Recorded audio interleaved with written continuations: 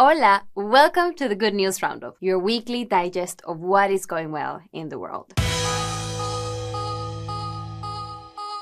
Here at this week's positive news stories, scientists have identified the brain mechanism behind memory loss in old age. We take a huge step towards a revolutionary quantum internet. A new gel can absorb water from desert air and make it drinkable. An EU plan to make solar panels mandatory on all new buildings. The Canadian chef helping immigrants into the workplace. And finally, the French village lit up by the sea. If you've ever forgotten where you left your keys or accidentally told the same story twice, help may soon be at hand. Neuroscientists at Johns Hopkins have been working with rats to investigate the parts of the brain that control memory. They have discovered a mechanism in the CA3 region of the hippocampus that appears to be responsible for a common type of memory loss and might turn out to be our greatest hope for combating Alzheimer's and other age related neurological disorders. But as the brain ages, our ability to distinguish patterns diminishes.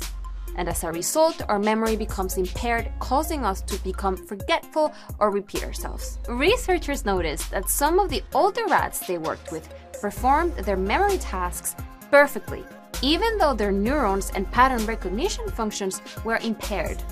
Some old rats are just as good as, as young rats in performing different memory tasks, mm. whereas other rats are really bad. And it's just like people. So there's a lot of variability in, in humans in terms of their cognitive aging and how, uh, how, how the cognitive abilities can decline over age. So we, we see the same thing in our, in our rat population. Something was allowing the older rats to compensate for the deficit, which we also see in those lucky humans who remain surprisingly sharp into their older years. If we can isolate this factor, the hope is that we can replicate it. We know that these same brain region that we're studying is one of the first areas that is affected in Alzheimer's. But if we want to understand Alzheimer's and what it does, we need to understand how the brain ages normally. Can you guess what this is? Lava lamp, lightsaber. It's actually called a living lamp. It's powered by deep sea organisms through a process known as bioluminescence. It's the same natural phenomenon that allows fireflies to light up and algae to glow at night when the water around them moves. Now, bioluminescence is also lighting up the small French town of Rambouillet, about 50 kilometers southwest of Paris. It's the work of a French startup called Glowee, which collects bioluminescent marine bacteria off the coast of France called Alivibrio fischeri, which is then stored inside tubes filled with salt water, turning them into a kind of fluorescent aquarium. Le but, c'est de créer une matière première vivante, bioluminescente, euh, pour créer du mobilier urbain et redessiner les villes de demain pour être plus respectueux de la biodiversité et de l'environnement. On travaille avec quasiment 50 projets d'aménagement aujourd'hui en France, avec des constructeurs, avec des aménageurs euh, et avec des municipalités évidemment directes. The manufacturing process consumes less water than making LED lights and releases less CO2, while the liquid is also biodegradable. Scientists are working on a groundbreaking new computer that will make the ones we use today seem like antiques. They are using the mysterious powers of quantum mechanics in a way Albert Einstein himself once deemed impossible. Quantum mechanics could be revolutionary for modern life as we know it. Tasks that would take today's supercomputers thousands of years to complete could be performed in minutes. But the thing is, quantum computing needs another technological breakthrough to reach its full potential. It needs the equivalent of quantum internet, a network that can send quantum information between distant machines without being connected. It needs what Einstein called spooky action at a distance. And a group of scientists at the Delft University of Technology in the Netherlands has done just that spooky computing. This team of physicists use a technique called quantum teleportation to send data across non neighboring locations in a quantum network. Up until now, researchers have only been able to send data between neighboring nodes, but the new study represents what they call a prime building block for the future of quantum networks and the advances in technology it will bring with it. Our research brings us closer to the quantum internet because um, It allows us to connect nodes that are not directly connected with each other in the same way that uh, right now we're having a video call and we're going through multiple computers across the internet to uh, to connect uh, with each other. In future quantum networks, you'll also need to connect nodes that are not directly connected. And so this is a first step uh, towards realizing that.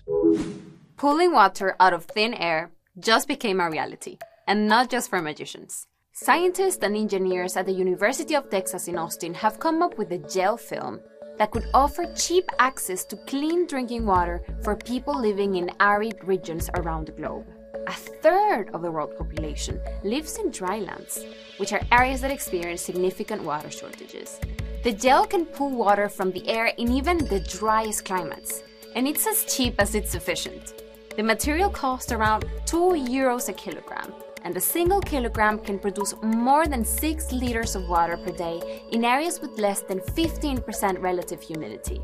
To give you an idea, Las Vegas, a notably dry US city that sits in the middle of the desert, has an average humidity rate of a little over 30%. And although 6 liters doesn't sound like much, the researchers say they could drastically increase the amount of water the invention yields by simply making thicker films or absorbent beds.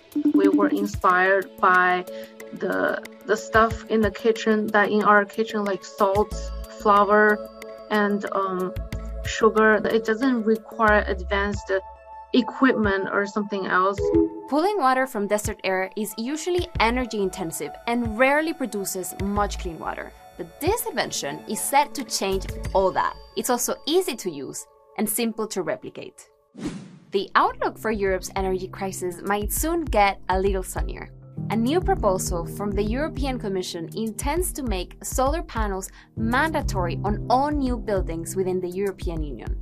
The goal is to make solar energy the largest electricity source in the bloc, replacing reliance on Russian oil and gas supplies with renewable energy. Following Russia's invasion of Ukraine, the European Commission is speeding up their original green energy transition plans, increasing the renewable energy goals to 45% of electricity consumption by 2030. In 2020, renewable energy resources already made up 37.5% of the EU's electricity consumption, meaning the continent is already well on track. The big lessons that we have to take from this war is that renewable energies is not only um, a fundamental question to face the climate goal, but is the best allies for the European Union uh, for its independency and its uh, strategic autonomy. There's still work to be done.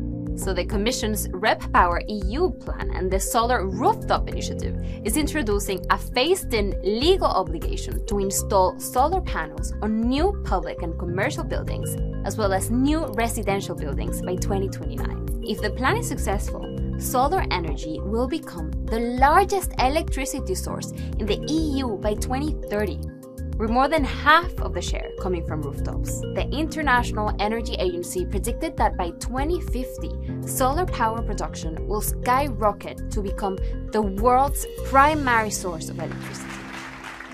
Benvenuti nella nostra cucina. Meet Jessica Rosval. Perhaps you already know her. She's a chef and entrepreneur and has worked alongside triple Michelin starred chef Massimo Bottura in his restaurant Osteria Francescana in Modena, Italy, for over a decade. And she has received many awards along the way. But her most recent recognitions are for her humanitarian work. This year, she has opened a brand new culinary venture that helps women who immigrate to Italy to find careers and integrate into life in the new country. Roots, the social enterprise restaurant she opened in March with her friend Caroline Caporossi, showcases the cultural diversity of Modena's migrant women, bringing the flavors and dishes of their homelands to the Italian public. Our chefs are actually in training, um, and but serving the food in this restaurant. Uh, the menu that we serve is a menu that's inspired by where these women are coming from. We teach them the technical skills uh, needed to be able to pursue a professional career in cooking, but also non-technical skills that really help uh, in terms of better understanding uh, the Italian, you know, uh, Italian bureaucracy, uh, culture, the history of Modena, uh, the food culture that exists in Modena, which are all also very fundamental and important um, aspects. We have had so much support from our community.